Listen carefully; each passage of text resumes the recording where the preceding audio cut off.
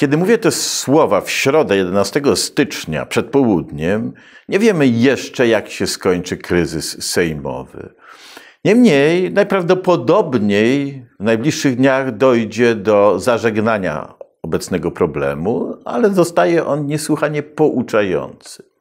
Ponieważ od, od jakiegoś czasu mamy próby jakby wyjścia tej opozycji z y, totalnej z sytuacji, w którą sama się wpakowała, czyli z okupacji Sejmu, działań pozaprawnych, czy też antyprawnych, które nie mają żadnego de, de facto uzasadnienia.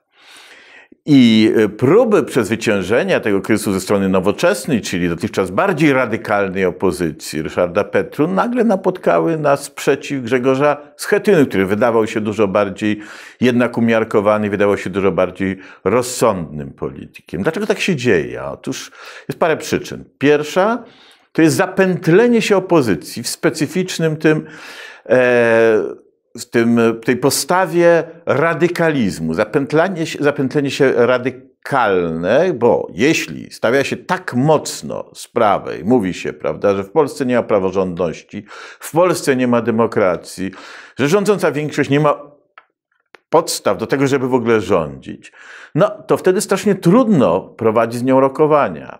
Jeśli mówi się, że uchwalenie budżetu, które miało miejsce w innej sali niż sala plenarna, do czego miał wszelkie prawa i podstawy do zwołania jej właśnie tam w sali kolumnowej marszałek Sejmu, jeżeli mówi się, że to e, te uchwalenie jest y, nieprawne, no to trudno się potem jakoś tak łatwo z tym pogodzić.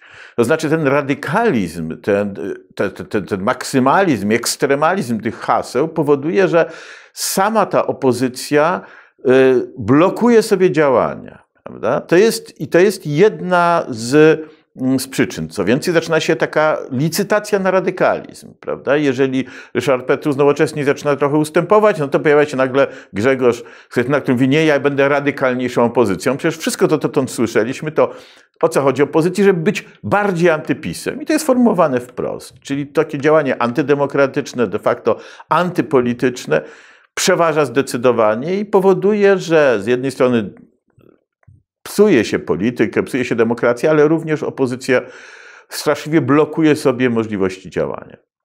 Dodatkowo jeszcze mamy do czynienia y, z faktem, że ta opozycja jest w ogromnej mierze emanacją dominujących środowisk trzeciej RP, które korzystały na tym, co było, jak to powiedziała nigdy dość przypominania Agnieszka Holland, przecież chodzi o to, żeby było jak było żeby ci, którzy czerpią dochody, czerpią, mają swoją pozycję ugruntowaną właśnie przez ten system oligarchiczny, żeby nadal trwali w swoich pozycjach, nadal czerpali te swoje szczególne dochody, żeby nadal oni y, decydowali tym, co jest w Polsce. I oni nie chcą pójść na żadne układy. To wyraźnie widać w takich wystąpieniach, takich bardzo niepoważnych postaci, takiego Trefnisia, y, którego przekształcił się były dziennikarz Tomasz Lis, który parodiuje nam Pola Marata teraz, wzywając prawda, do tego, żeby nie ustąpić ani kroku i żeby rozprawić się z paskudnym pisem.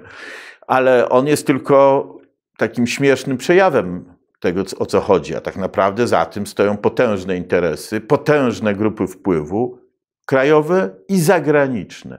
I w tej sytuacji ci, ci, ci przedstawiciele tej opozycji totalnie dobrze wiedzą, że jeśli oni nie spełnią oczekiwań, no to mogą zostać wymienieni na kogoś innego. Co jest bardzo sytuacją rzeczywiście niezręczną i trudną polityczną. To wszystko pokazuje nam e, ten splot e, wydarzeń, który mamy obecnie w Polsce, który tak, z jednej strony jest dla opozycji tej totalnej bardzo niekomfortowy i będzie przynosił jej porażki, ale z drugiej strony psucie demokracji i psucie polityki będzie w Polsce postępowało, a ci, którzy za tym stoją, nie przejmują się losami tejże opozycji, bo w razie czego mogą przecież wykrować sobie kolejną.